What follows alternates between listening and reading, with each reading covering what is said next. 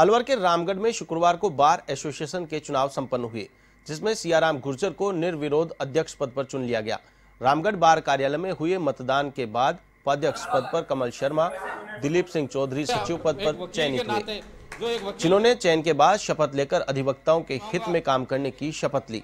इस मौके पर एडवोकेट रोहिताश सैनी राजकुमार यादव दिनेश कुमार शर्मा उदय सिंह और जय सिंह सतीजा सहित कई वकील और गणमान्य लोग मौजूद रहे।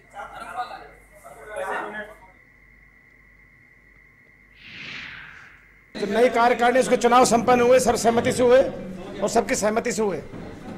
जिसमें हमारे वरिष्ठ अभिभाषक श्री सियाराम जी गुजर, उनको सर्वसम्मति से रामगढ़ बार संघ का अध्यक्ष चुना गया। उपाध्यक्ष पद पर एडवोकेट रणधीर सिंह जी और सेक्रेटरी पद पर भाई कमल शर्मा और कोषाध्यक्ष पद पर हमारे वकील साथी दिलीप चौधरी। इनका निर्वाचन सब